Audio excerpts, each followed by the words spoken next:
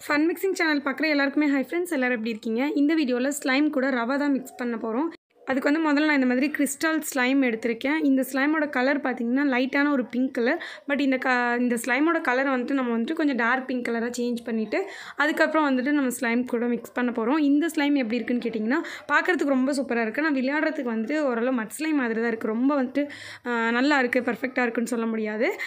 ரொம்ப ரொம்ப தூரத்துக்கு நம்ம இழுத்துட்டோம் அப்படின்னா உடஞ்சிற மாதிரி இருந்துச்சு இந்த ஸ்லைம் ஓகேங்களா ஸோ இப்போ இதில் வந்துட்டு கொஞ்சம் கலர் சேஞ்ச் பண்ணால் நல்லா இருக்கும்னு தோணுச்சுன்னா ரொம்ப லைட் கலராக இருந்துச்சு. ஸோ அதனால் இதில் கொஞ்சமாக நான் வந்து கலர் ஃபுட் கலர் தான் ஆட் பண்ணியிருக்கேன். ஸோ ஃபுட் கலர் போட்டுட்டு இதை நல்லா மிக்ஸ் பண்ணிக்கலாம். இந்த கலர் போட்டோடனே பார்த்திங்கன்னா பார்த்தீங்கன்னா நல்லா இருந்துச்சு. நல்லா டார்க்காக சூப்பராக இருந்துச்சு. ஸ்லைமே பார்க்குறதுக்கு லுக்காக வந்து சேஞ்ச் ஆகிடுச்சு ஸோ நல்லா மிக்ஸ் பண்ணுறேன் பாருங்கள் ஆனால் வந்து கொஞ்சம் ஹார்டாக தாங்க இருந்துச்சு இந்த ஸ்லைமு ஸோ இந்த ஸ்லைம் கூட நம்ம ரவையை போடும்போது அந்த ரவை வந்து க்ரன்ச்சியாக இருக்குமா எப்படி இருக்கும்னு எனக்கு தெரியல.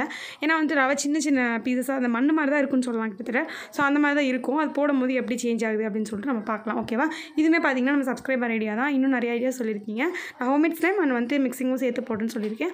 ஸோ அதனால் ஹோம்மேட் ஸ்லைம் இன்றைக்கி காலையில் போட்டேன்னு நினைக்கிறேன்.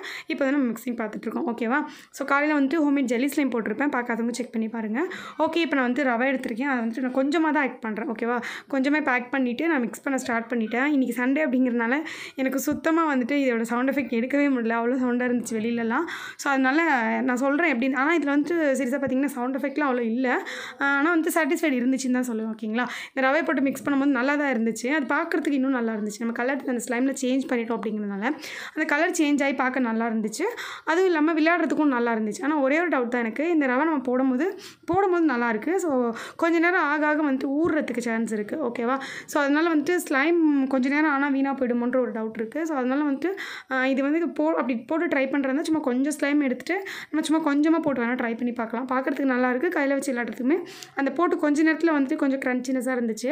அது அப்படியே பபிள்ஸ்லாம் போட முடிஞ்சிச்சு. நல்லா தான் இருந்தது. பட் போக போக இந்த ஸ்லைம் வந்துட்டு ஒரு மாதிரி சேஞ்ச் ஆகிடும்னு தோணுது எனக்கு. ஸோ அதனால் வந்துட்டு ட்ரை பண்ணாதீங்க. ஓகேவா ட்ரை பண்ணுறதா இருந்தால் கொஞ்சமாக எடுத்து ட்ரை பண்ணி பாருங்கள் ஓகே ஓரளவு தான் வந்துட்டு இதில் சாட்டிஸ்ஃபைடு இருக்குது ஓகே அவ்வளோதான் இன்னும் இந்த மாதிரி வந்துட்டு மிக்சிங் வீடியோ நிறைய எனக்கு ஐடியாஸ் கொடுத்துருக்கீங்க. ஸோ வேறு என்ன மாதிரி டிஃப்ரெண்ட்டான மிக்சிங் போடலாம் அப்படின்னு சொல்லி கமெண்ட் பண்ணுங்கள் அண்ட் ஹோம்மேட் ஸ்லைமும் நான் கண்டிப்பாக அடுத்தடுத்து ஷேர் பண்ணுவேன். இந்த வீடியோ பிடிச்சிருந்தா லைக் பண்ணிவிட்டு சேனலை மறக்காமல் சப்ஸ்கிரைப் பண்ணி வச்சுக்கோங்க நெக்ஸ்ட் ஒரு இன்ட்ரெஸ்டிங்கான slime mixing and homemade slime வீடியோவில் பார்க்கலாம். Thank you bye